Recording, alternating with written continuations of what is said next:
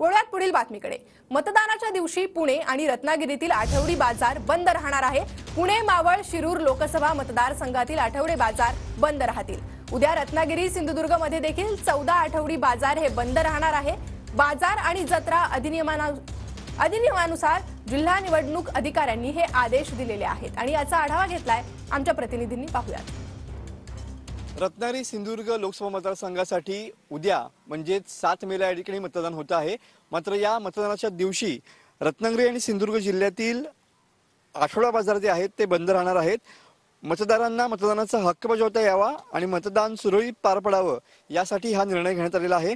रत्नागिरी जिल्ह्यातील चौदा ठिकाणचे मंगळवारचे आठवडा बाजार उद्या बंद राहणार आहेत. बाजार आणि जत्रा अधिनियम नियमनानुसार जिल्हा निवडणूक अधिकाऱ्यांनी हे आदेश दिलेले आहेत.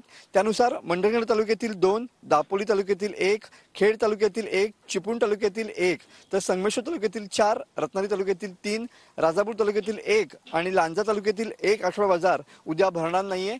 मतदानाला जो टक्का घसरतो आहे त्यामुळं सध्या प्रशासनानं हा निर्णय घेतलेला आहे.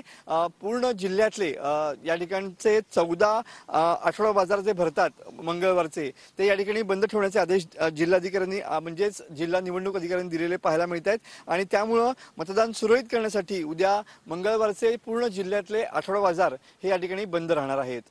कॅमेरामन समित गजनेसह मी मनोज लेले टीव्ही नाईन मराठी रत्नागिरी.